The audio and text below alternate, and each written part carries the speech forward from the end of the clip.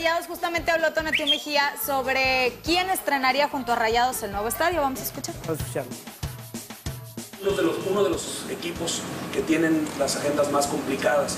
No solo eso, sino que además eh, algunos de sus jugadores estelares vienen o para esas fechas tendrán eh, o habrán tenido su reciente participación en la Copa América. Y bueno, no podemos descartar a ninguno, pero efectivamente eh, ese nivel de equipos son los que, los que se, complican más eh, que puedan visitarnos.